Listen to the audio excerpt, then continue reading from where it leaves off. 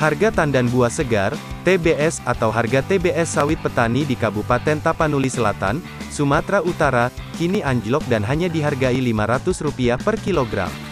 Para petani mengeluhkan penurunan harga komoditas tersebut hingga ke level terendah sepanjang sejarah. Setahu saya ini yang paling murah.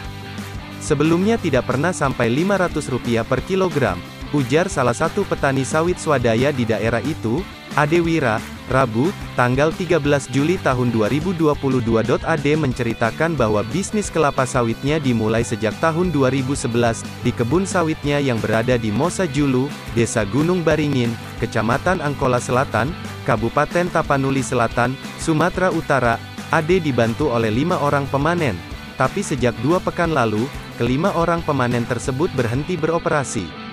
Sebab, harga TBS kelapa sawit anjlok sehingga biaya operasional maupun produksi tidak dapat dipenuhi. Sementara itu, banyak pabrik kelapa sawit, PKS, yang tidak lagi menampung TBS kelapa sawit karena stok crude palm oil, CPO, dalam tangki sudah penuh. Bila biasanya panen sawit per pekan, tapi dua minggu belakangan ini Ade sengaja tak panen.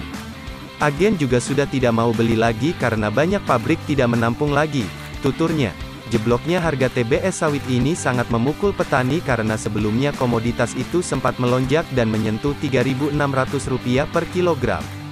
Kala itu, tepat sebelum bulan Ramadan 1443 Hijriah atau bulan April tahun 2022 lalu.